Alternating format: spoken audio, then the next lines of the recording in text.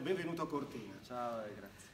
Guarda, l'anno scorso siamo rimasti tutti un pochino così per come hai perso quel quarto di finale con quello che poi dopo ha vinto il torneo, Joao Sosa, eh, avevi vinto il primo set 6-4 se non ricordo male e beh, sei arrivato al tie break del secondo prima che eh, insomma è andata, è andata come è andata, è stato un peccato. Eh. Ah, è stata diciamo, la prima volta qua a Cortina, non ero mai stato e fin dal primo turno ho avuto ottime sensazioni, giocando subito un buonissimo tennis che mi mancava da un po' di settimane anche lì. E vinto una partita al secondo turno molto difficile annullando match point e poi sicuramente ho giocato un'ottima partita come dicevi col brasiliano, ho girato sicuramente su pochi punti però ho buone sensazioni, ho avuto buone sensazioni e quindi sono tornato qui fiducioso.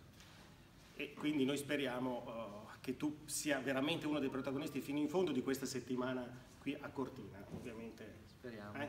E, beh, qualche anno fa hai fatto un risultato fortissimo, bellissimo, quando hai giocato a Roma nel 2015 vincendo il primo turno con Giraldo forse il match eh, più importante ancora della tua carriera. Sicuramente il match più importante e anche con emozioni, sono state emozioni fortissime sul centrale, foro italico da italiano, eh, sicuramente penso un momento che non dimenticherò mai. Ancora ora ogni tanto nei momenti non bellissimi vado a rivedermelo e diciamo torno a sorriso.